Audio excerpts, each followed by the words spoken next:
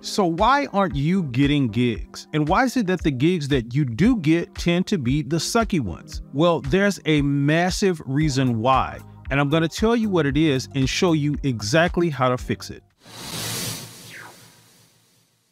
Hey, and welcome to Music Space. Here we help musicians monetize their craft. So if you're new here, hit that subscribe button and the notification bell to stay updated when new videos are uploaded. Okay, so let me paint the picture for you.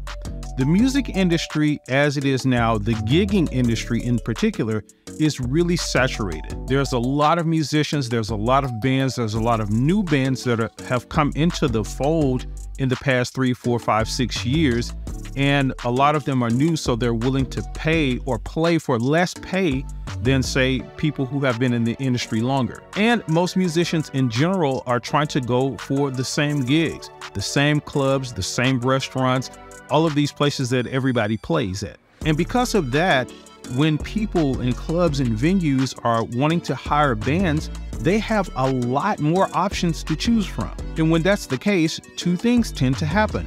The people that hire bands start to demand higher quality out of their options. And the other thing is that it makes these bands have to do more to stand out if they want to get hired by these places. The analogy that I like to always use for this is the music industry, the gig industry in particular, is like a big crowded stadium. And what's happening is there's all of these musicians and bands down on the field saying, hey, look at me, look at what I can do, hire me, buy my music, you know, get my band to come play for your event. So the question becomes while you're on that field, what is it that you need to do to make yourself and your band and what you do stand out? And that brings us to this big, massive reason why you aren't getting gigs. And it's because you aren't distinct. And that makes you irrelevant. Now, hang with me because this is what I mean by this.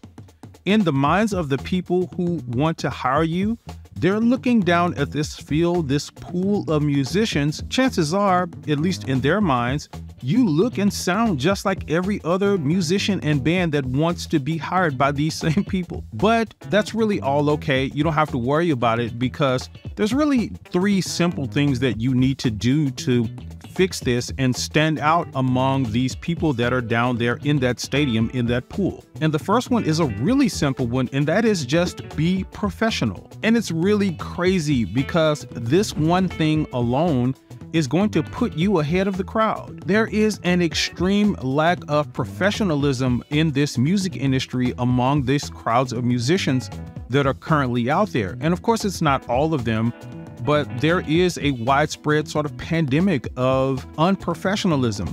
Musicians don't show up on time, they don't learn the music, their equipment is crappy, they you know, don't know how to communicate effectively. They show up in some weird attire looking like they come off the street or something like that, you know, and that kind of stuff. So just being professional and showing that you're professional is going to put you well ahead of a lot of these bands and musicians, especially to the people who are willing to pay top dollar for bands and hire you for those good type of gigs. And then the second thing is you need to up your social media game. And here's what I mean. We are in this content era where video and audio and stuff like that is king.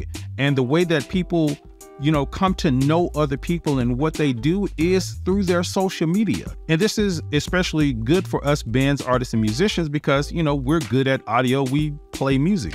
So we can take advantage of that, but we need to be posting stuff, posting the best of what we do, you know, showing that professionalism, showing what it is that we have to offer so that we stand out again among that crowd who have crappy audio on their social media, bad photos and bad videos, you know, bad lighting with crappy cell phone videos and stuff like that on their social media. And then the third thing, which I would argue is probably the most important out of the three, is you need to get clear on the value that you provide people and you need to niche down based on that value. And I know that may sound a bit like a mouthful, but here's what I mean. You need to position yourself or your band as something specific that provides a specific value or solves a specific problem. And just as an analogy to help you understand this, it's basically the difference between something general and something specific. So let's say you have a splitting headache and you want to go get some medicine to take for your headache. And you go to the store and you go down the aisle and you see this big bottle that says painkillers. And then on that same aisle, you see another bottle that says for splitting headaches. You're more likely to buy the bottle that says for splitting headaches because it's a solution to a specific problem that you have. And how that translates to what we're talking about here is if you can position yourself as the band of professionalism, as the wedding band who provides specific types of music to keep people dancing or the specific style of music band like we are an R&B band that does this specific thing like just 90s music. You want to niche down as much as you can so that you can provide and position yourself to provide that specific value. And as it pertains to professionalism, that's something that's extremely important. And I've done several videos about professionalism and things bands can do to be professional. And you can go here and check out some of those videos right now.